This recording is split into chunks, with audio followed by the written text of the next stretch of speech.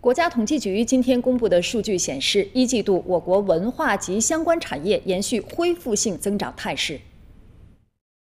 一季度，全国规模以上文化及相关产业企业实现营业收入两万六千九百七十三亿元，比上年同期增长百分之五点零。文化核心领域实现营业收入一万六千七百五十八亿元，比上年同期增长百分之六点四，增速高于文化相关领域三点五个百分点。占文化企业营业收入的比重为百分之六十二点一，占比高于上年同期零点八个百分点。具体来看，文化核心领域六个行业中，三个行业增速高于文化企业平均水平，其中内容创作生产增速达百分之十点一，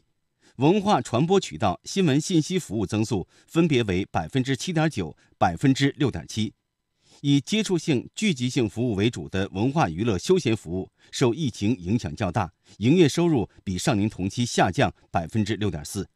文化新业态营业收入占比提高，以数字出版、智能文化设备制造等为代表，文化新业态特征较为明显的十六个行业小类实现营业收入九千四百零七亿元，比上年同期增长百分之六点三。其中，数字出版、可穿戴智能文化设备制造两个细分行业营业收入增速较高，分别达到百分之三十二点七和百分之二十二点零。